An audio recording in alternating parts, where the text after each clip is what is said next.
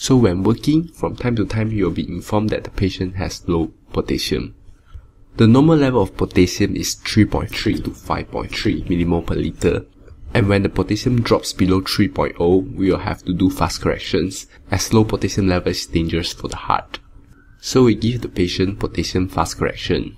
And it usually is 1 gram of KCl fast correction or 2 gram of KCl fast correction. So some department actually allows us to use our gut feeling to decide how much gram of KCl to fast correct.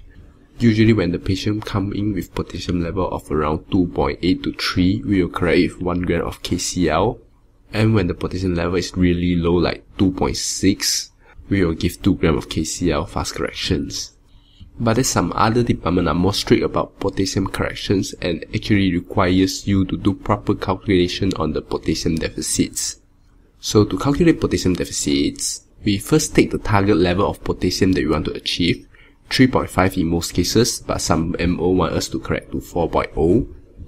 Then minus the current level of potassium, take that value times the body weight of the patient, and then times 0.4 this will give us the millimole of potassium that the patient needs.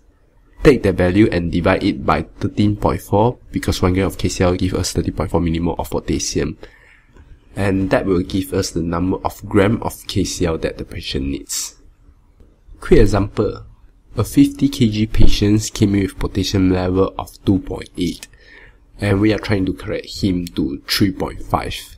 So how many gram of KCl should we fast correct him?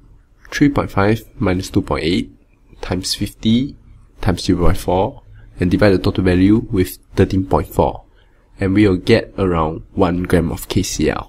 So it is 1 gram of KCl in 100 cc of normal saline over 1 hour for that patient. Don't forget to take RP 1 hour post fast correction. Uh.